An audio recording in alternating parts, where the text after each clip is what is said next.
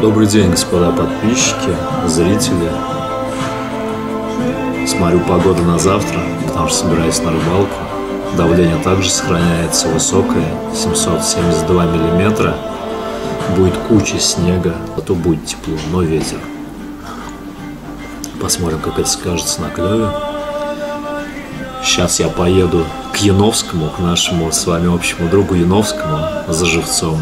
Завтра с утра мы выдвинемся прям в 4 утра, если не раньше, уже на трофейную щуку.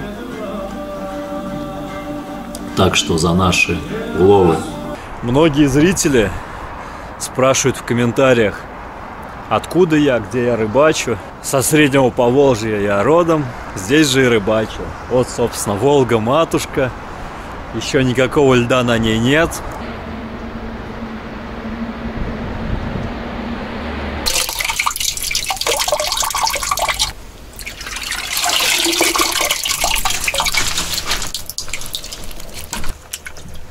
Так, сейчас посмотрим, кстати, о, какой крупный убежал. Так, что они у тебя не такие крупные, хотя вот неплохой. Нужно 30 штук живцов, короче. Мы поставим дофига жерлиц. Некит поставит 15, я поставлю 15. Часть на карася, часть на сорогу. Сорога есть у тебя? Нет. Хера будет, нет? Где-то часа через полтора-два. В общем, господа зрители, есть такое мнение, что на флюрокарбоновые поводки э, клюет щука лучше. То есть, ну, она его что, не боится или что, не видит его? Она не видит его. И действительно, я уже не первый раз слышу. И сейчас меня Яновский тоже убеждал в этом. И действительно, я хочу попробовать тогда поставить эксперимент. Во-первых, вы напишите свое мнение, свой опыт в первую очередь. То есть, кто пробовал стальные поводки, кто пробовал флюрокарбоновые поводки, на какие лучше на какие поводки лучше клюет щука. И сейчас вот покупатель приходил к Яновскому и говорит, что там люди 100 жерлиц ставили, у них один был холостой выстрел. А он приехал, поставил, и 10 щук они выловили. Вот тут есть какие-то поводки по 30 рублей у Яновского. Сейчас я возьму штук 5 у него, поставлю на жерлицы и посмотрим, как они работают. Ну а теперь давайте скорее смотреть выпуск.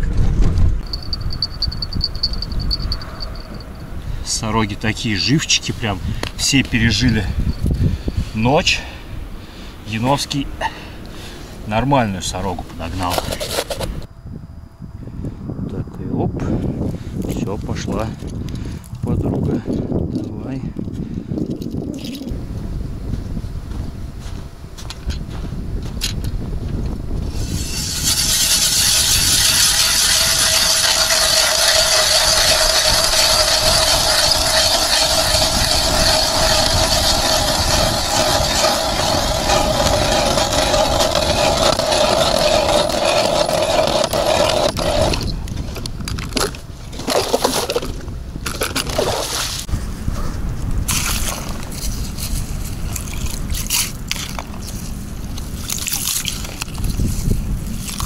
Я использую вот такие двойные крючки. Французские они почему-то называются. Под жабру поводок, чтобы не повредить жабры. Ничего, чтобы, во-первых, он жил на крючке, а во-вторых, чтобы, если даже на него ничего не попадется, чтобы мы его выпустили, он жил. Так, и вот, собственно, вот так вот у нас, оп, у него крючок во рту таким вот образом остается. Вот и Никита. Знакомьтесь, господа, кто еще с ним не знаком.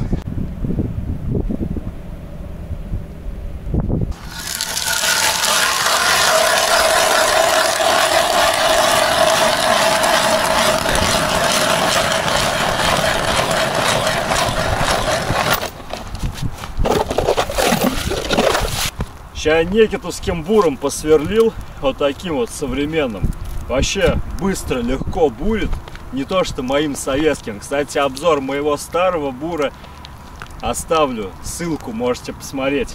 Закормим лунки носорожку. Тут у меня всякое и хлебушек я замочил, и кашку, и прикормку, которую Яновский меня продал, втюхал в прошлый раз.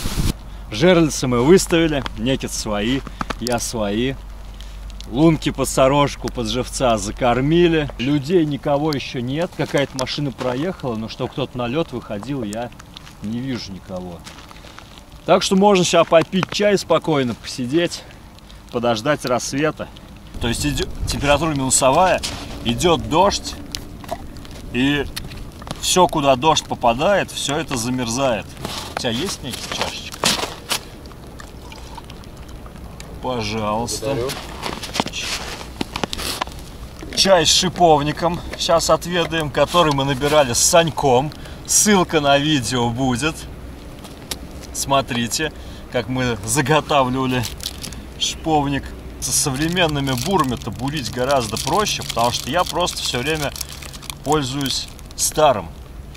А даже, между прочим, смотрю Витек с канала Брожу по тайге. Бурит современным буром. Так что впору и мне задуматься о том, чтобы приобрести себе бур. Вот в конце той зимы, некит, мы ездили с Саньком на Васильевские острова. И там в одном заливе ловили. Ну, был уже март. И лед. Лед был метровый, но если не знаю, не больше. И вот мы моим буром этим, у меня всегда есть в ведре, где жерлица отвертка. То есть я подкручиваю еще шурупы там, а то могут ножи слететь с него. И вот мы с Саньком каждую лунку по очереди бурили. То есть сначала один бурит до уже до жжения в мышцах, потом второй бурит, первый отдыхает, потом второй отдыхает, первый бурит, короче. Было И- непросто, да, наверное? Да, и так мы под мои 15 жерлиц бурили, короче. А на следующую, ну, ночью подморозило, днем было солнце, мы аж обгорели даже. На канале есть все эти видео, можете смотреть. А ночью подморозило прям изрядно так. И мы пешней ходили, выдалбливали каждую, короче, жерлицу там по 5-7 сантиметров намерзла льда. Дождь, если не ливень. Такая, конечно, тьма стоит.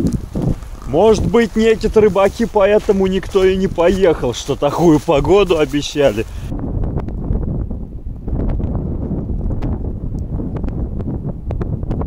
Изрядно промок под этим дождем, поэтому решил развести костер.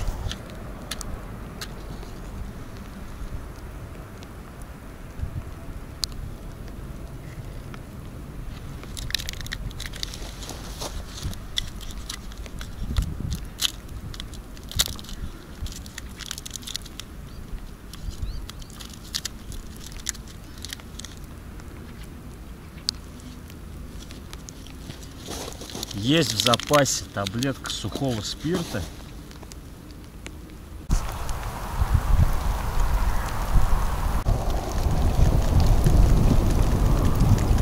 Ну, время почти 10 уже. Вообще что-то никакого клева. Не знаю, что за день такой. Варежки промокли насквозь. Грею тут возле костра.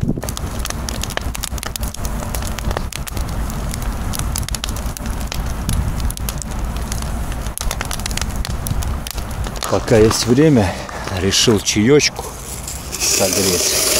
Сейчас снега наберу, растоплю, на костре вскипячу.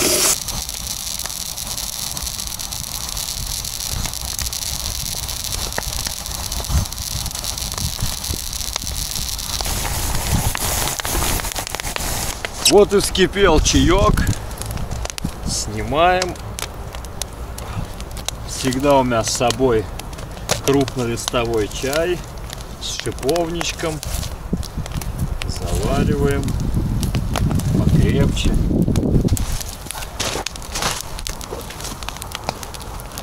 Вот сюда на деревяшечку поближе к, к огню.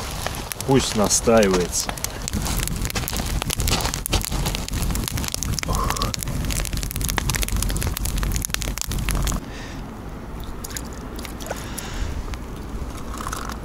Оп, такая вот изредка сорожка у нас сегодня попадается.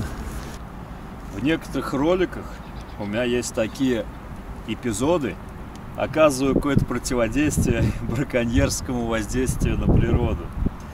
Где-то отгоняю браконьеров, где-то режу им сети, где-то выпускаю рыбку.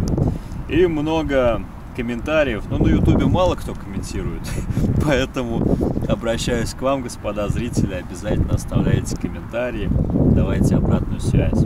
У меня еще ТикТок есть, там много комментариев по этому поводу, что типа не твоя сеть там, не трогай, типа это какой-нибудь дедушка поставил, ему нечего есть.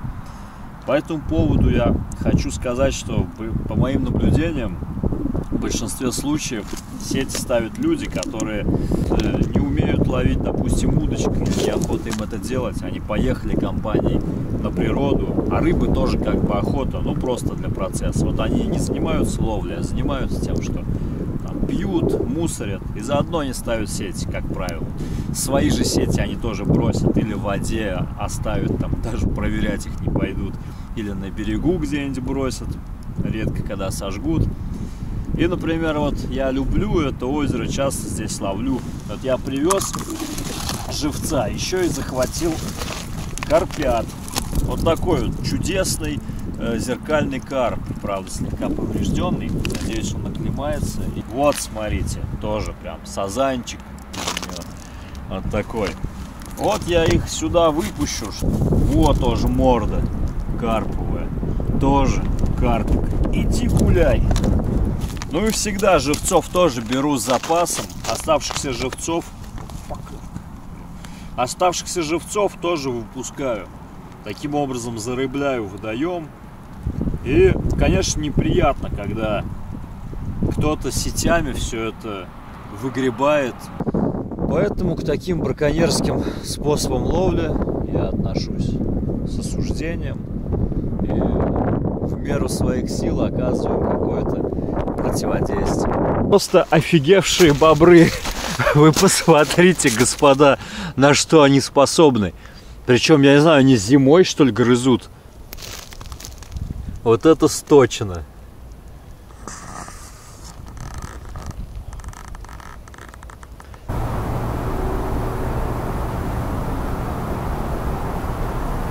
Сейчас идем, смотрим, какой-то, видать, дед тут ловил, возможно, даже не один. То есть он хорошо закормил, он тут прикормка, долго сидел и, во-первых, курил, накидал тут пачки сигарет. Бычков, кстати, столько вот, раз, два, три, четыре, пять, шесть, семь, восемь, девять, десять одинаковых бычков. И еще тут по кругу, короче, он всю пачку вот эту здесь курил. Таблетки какие-то. То есть стало ему кофецил плюс. Это кофеин, что ли, какой-то, не пойму. Короче, сидел еще таблетки жрал. Просто пачку таблеток сожрал, бросил. Мотыля тоже. Видать, кормил мотылем или ловил на мотыля. Газету бросил. Вот, то есть человек уже в возрасте, уже, ну, ничего у него в голове не поменяется. А вот мусор оставил. Что с такими делать? Ничего с ним не сделаешь. Как бы и, ну, не будешь ты никак на него воздействовать, потому что уже и он, наверное, его и так уже жизнь доказала. И в голове у него ничего не поменяешь. Остается только смотреть на таких людей и в назидание как бы тем, кто еще способен как-то анализировать, чтобы вот не было все в таком виде. Прошу всех убирать хотя бы за собой мусор. После птички налево. На коммунары. Не знаю, я... А ты где закупаешься? Ну, я виду, чтобы купить. Вот такая она призрачная рыбацкая удача. Иной раз приезжаешь, у тебя там 10 загаров за 2 часа, там несколько щук вытащил, а то и вообще не успеваешь между жерлицами бегать. Сегодня у нас ни одного загара, ни одного выстрела. Расставлено, я вам по секрету скажу, 30 жерлиц. План у меня стандартный. Оставляю жерлицы на ночь и с утра приеду вместе с вами. И мы посмотрим, что, может быть, ну должен быть уже когда-то этот выход щуки. Должна она ну, когда-то начать клевать. И в этом и есть тоже рыбацкая сноровка, рыбацкое какое-то мастерство, чтобы дождаться, выждать, э, угадать этот момент. Если бы всегда рыба гарантированно клевала и ловилась, то в рыбалке не было бы вот этой прелести. Поэтому пока что остается просто сидеть возле костра, пить горячий чай, созерцать вот эту спящую природу, заснеженные ледяные дали.